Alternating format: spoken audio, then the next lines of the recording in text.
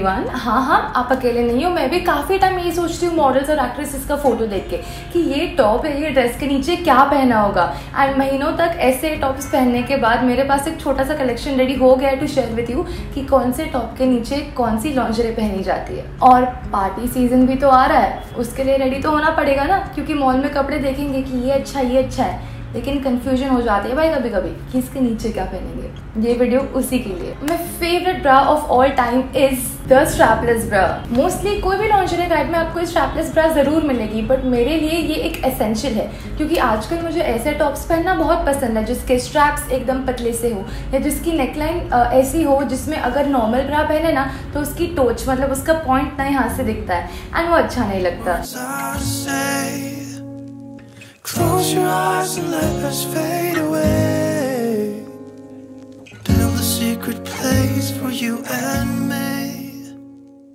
इसके नीचे नेकलाइन का कोई टेंशन नहीं, क्योंकि जल्दी से स्ट्रैपलेस ब्रा ना ऐसे ही कप में आती है, ज़्यादा फुल कप नहीं होते स्ट्रैपलेस ब्रा के।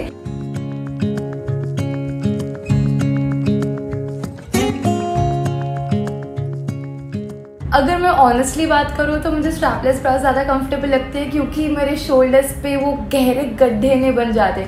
कभी कभी नॉर्मल ब्रास ना अगर थोड़ी सी टाइट हो जाती है ना तो यहाँ पे सारे रेड रेड मार्क्स हो जाते हैं। तो एकदम ऐसे फ्री लगता है कि हाँ। अभी स्ट्रैपलेस ब्रा में क्या होता है? अंडर वायर होता है। बिकॉज़ जब स्ट्रैप्स नहीं होते तो कुछ और सपोर्ट के लिए चाहिए होता है। समटाइम्स अंडर वायर ना अनकंफर्टेबल लगने लगता है। तो इसलिए वेरी रिसेंटली मुझे मिली पुशअप वाली स्ट्रैपलेस ब्रा अब इसमें क्या होता है कि यहाँ पे एक्स्ट्रा पैडिंग होती है। ये हिस्सा। ये वाला। तो ये पैडिंग आपके चेस्ट को एक्स्ट्रा सपोर्ट देता है। बिकॉज़ ऑफ़ दैट हमारी बॉडी सिर्फ़ अंडरवेयर पे डिपेंड नहीं करती। तो ये मुझे काफ़ी ज़्यादा कंफर्टेबल लगता है। इसको मैं आराम से दस बारह घंटे पहन लेती हूँ। एंड स्ट्रैपलेस ब्रास का बेस्ट पार्ट क्या है कि आप इसमें कभी भी स्ट्रैप्स लगा के इसको नॉर्मल ब्रा की तरह पहन सकते हैं। ऑल्सो जब मैं रिसर्च कर रही थी, मैंने आप में से काफ़ी लोगों के ऐसे कॉमेंट्स देखे की अगर हमारी चेस्ट थोड़ी बड़े साइड पे है तो स्ट्रैपलेस ब्रास में सपोर्ट नहीं मिलता। आई अंडरस्टैंड क्योंकि स्ट्रैपलेस ब्रास के कब से छोटे होते हैं। उसमें आप क्या कर सकते हो? अगर आपकी टॉप ऐसी नेकलाइन वाली नहीं है एंड नॉर्मल ऑफ़ शोल्डर है, आप अपनी नॉर्मल ब्रा ले सकते हो और उसके स्ट्रैप्स बस अंदर टक इन कर दो। नॉर्मल ब्रा के कप्स काफ़ी बड़े होते हैं। तो अगर स्ट्रैपलेस ब्रा का कप यहाँ खत्म हो जाता है नॉर्मल ब्रा का कप यहाँ तक आता है तो उसमें काफ़ी ज़्यादा सपोर्ट मिलता है।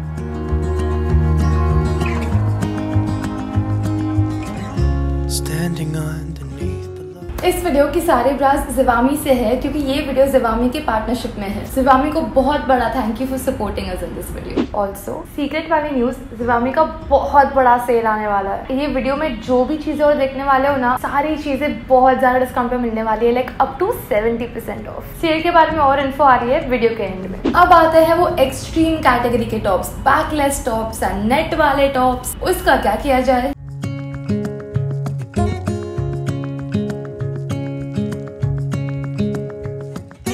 My personal favourite for all these kind is a stick on bra इस वाले के स्ट्रैप्स में ग्लू है लेकिन ऐसे भी स्टिक ऑन ब्राज आता है जिसके यहाँ पर ही ग्लू हो और वो डायरेक्टली चिपक जाए।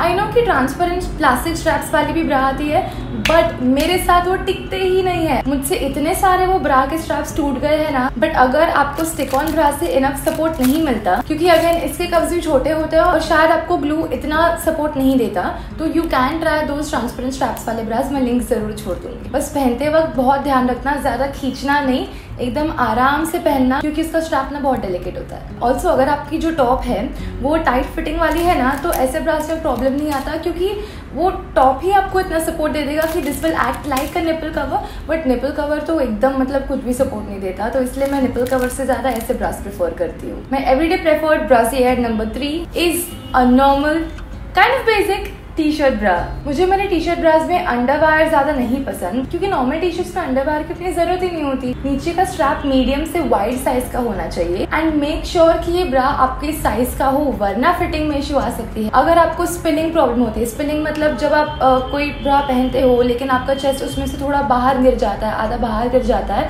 या आपने कोई बॉडी फिट टॉप पहनी है तो उसमें थोड़ा सा ऐसा उपसा हुआ दिख के आता है। डोंट वरी मैं वीडियो के एंड में आपको साइजिंग के बारे में थोड़ा नॉलेज शेयर करने वाली हूँ। मैंने काइंड ऑफ़ बेसिक इसलिए कहा क्योंकि जिवामे का कलेक्शन बहुत ज़्यादा कोर्की है टी शर्ट ब्राज में लाइक स्ट्राइपी वाला है। एंड ये स्पोर्टी लुक वाला है इसका फिटिंग भी बहुत ज़्यादा अच्छा है। तो ये कॉटन मटेरियल वाले स्किन के लिए भी अच्छे होते हैं स्वेट एब्जॉर्ब कर लेते हैं। एंड uh, कोई रैशेस वगैरह नहीं होते कॉटन से। ये T shirt bras I think सबसे ज़्यादा कंफर्टेबल है आउट ऑफ़ ऑल ऑफ़ दम एक चीज़ ज़रूर याद रखना कि पैडिंग का स्टेटस चेक करना खरीदते वक्त अगर आप ज़्यादातर प्लेन टी शर्ट्स या बॉडी फिटिंग टी शर्ट्स पहनते हो तो आपको अच्छी खासी पैडिंग की ज़रूरत होगी वरना uh, वरना निपल्स दिख सकते हैं टी शर्ट के through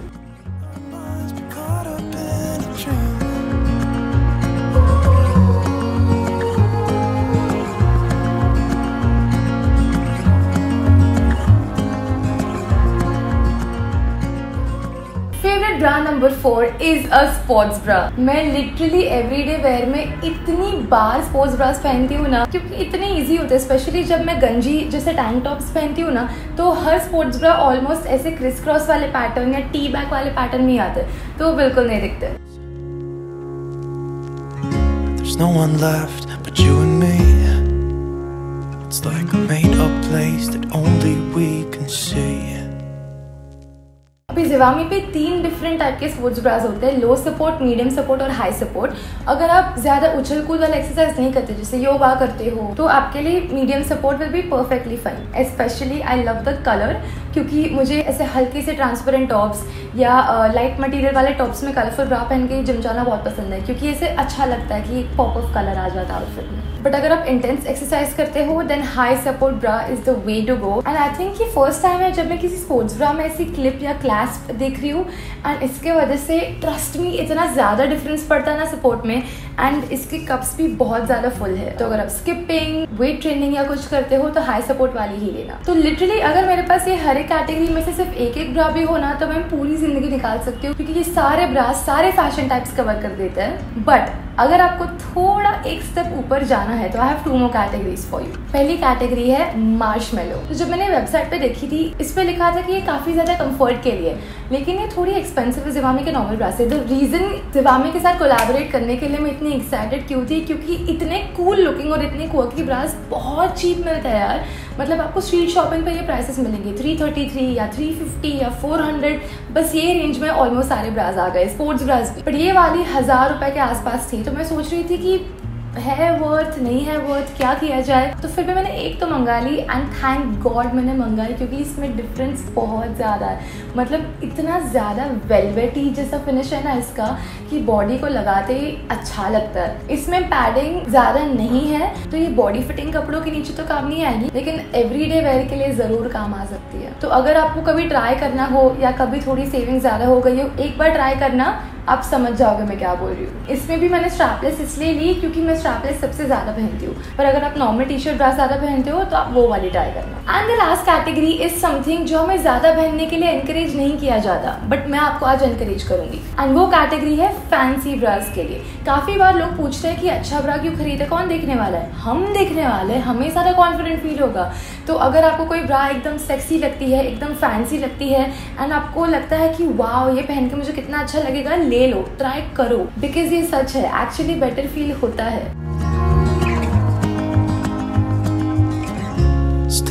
तो आप लेसी ब्रा ट्राई कर सकते हो या फिर फंकी कलर्स ट्राई कर सकते हो। लाइट ब्लू है येलो है ऑरेंज है बहुत सारे कलर्स है।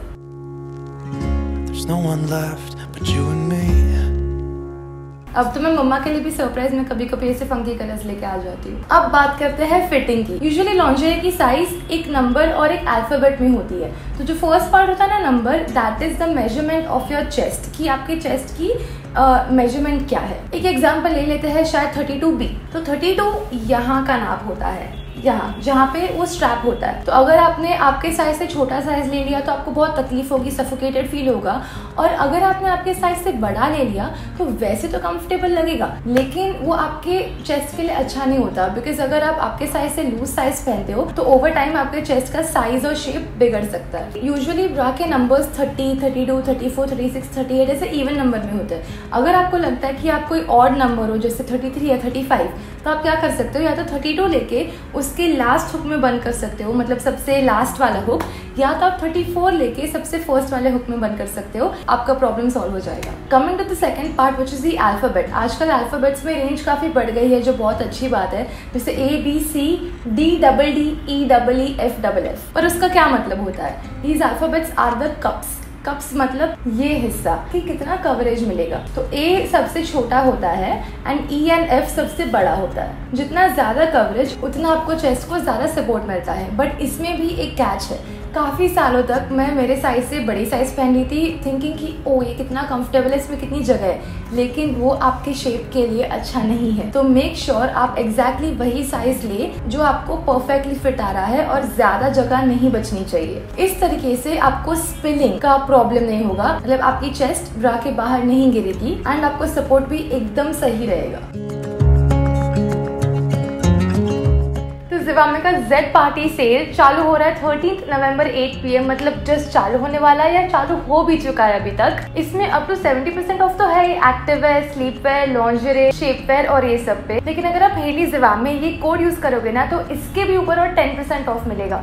तो अगर आप कुछ भी लोगे इस वीडियो को देखकर तो ये कोड ज़रूर यूज़ करना, क्योंकि वैसे जिवामे को मालूम पड़ेगा कि ये वीडियो देखकर आपको कितनी हेल्प हुई। एंड बस उसी के बेसिस पे हमें साथ में काम करने में आगे काफ़ी मदद होगी। इस वाले सेल में तीन हज़ार से ज़्यादा स्टाइल सेल पे जाने वाले हैं एंड हंड्रेड से ज़्यादा साइजेस है। रिटर्न्स बहुत इजी है एंड ये मैं पर्सनल एक्सपीरियंस से बोल रही हूँ क्योंकि मैंने एक लेगिंग्स मंगाए थे यही ऑर्डर में जवामी में एंड वो मुझे थोड़े छोटे हुए। तो मैंने नए वाले लेगिंग्स ऑर्डर किए रिटर्न में। तो क्या हुआ कि नई चीज़ दे दी एंड पुरानी चीज़ तभी ले गए। तो एक भी एक्स्ट्रा रुपी नहीं लगता है, घर पे आके दे के जाते हैं, घर से लेके जाते हैं। कैश ऑन डिलीवरी पे भी रिटर्न है, पंद्रह दिन के अंदर आराम से हो जाएगा। मुझे तो सिर्फ़ चार दिन लगे थे बट उन्होंने कहा कि फिफ्टीन डेज़ में तो हो जाएगा। तो अगर आप कुछ भी लेने का डिसाइड करोगे तो मुझे ज़रूर बताना कि आपको कौन सी तकलीफ़ ओवरकम करने में मदद हुई है वीडियो में। फॉर एग्ज़ाम्पल मेरी एक फ्रेंड ने कहा कि आ, उनको शौक था काफ़ी फैंसी स्टफ़ पहनने का पर वो नहीं पहनते थे। लेकिन ये वीडियो देखने के बाद वो ज़रूर लेंगे क्योंकि मैंने उनको प्राइवेट लिंक भेजा था चेक करने के लिए before I make this life so उन्होंने मुझे ये बताया बट अगर आपको कुछ भी मदद हुई तो मुझे कॉमेंट सेक्शन में ज़रूर बताना। अब ना मेरे को एकदम हल्का हल्का और अच्छा फील हो रहा है कि सारे सीक्रेट्स आपको मालूम है। क्योंकि काफ़ी बार जब मैं फ़ैशन हॉल्स अपलोड करती हूँ, जो मैं बहुत करती हूँ, मुझे कमेंट्स में ये ज़्यादा कमेंट्स आते हैं कि यार वो टॉप तो बहुत अच्छा लेकिन टॉप के नीचे का पहना था। तो अब आपको पता है।